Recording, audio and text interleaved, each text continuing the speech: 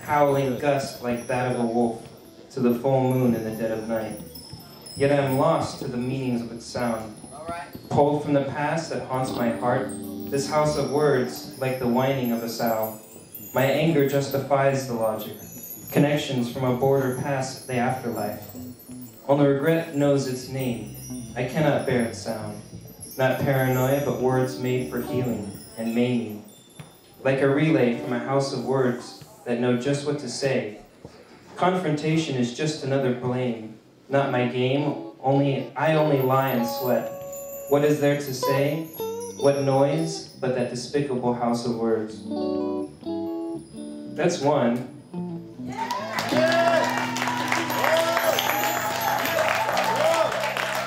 I have uh, two more. Do you guys want to hear them? Yeah. Okay. Mr. Fuentes, I'm gonna give you one more only because you got the stage. Okay, one more.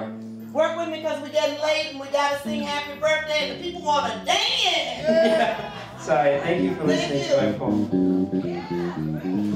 Beauty of ties, infinity of tries to say hello. But I say, but no, I say in the sh- stay in the shadow. Still respectable, but her eyes light up from the glint. Her corner complexion from the side of her face. As the music hits the room and warms her heart, I could see the expression, true sincerity and admonition. She is beautiful and innocent, my eyes couldn't see past the moments that pass her by. Why bother to speak? I see no reason to believe in me. My words are that of a shallow perplexion. All right. Still I am tied to her shadow.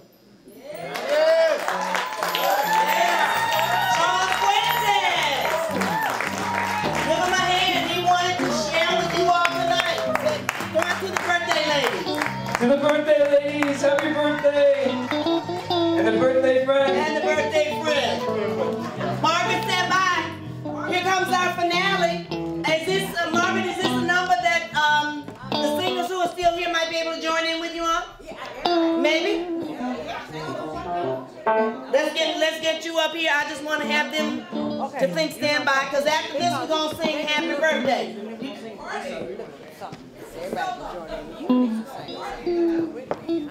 Can I get some water to the stage, please?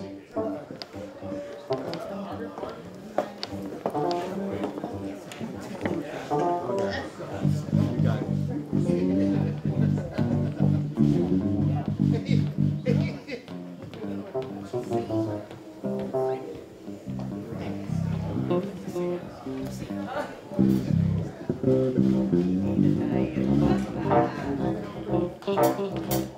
Thank you.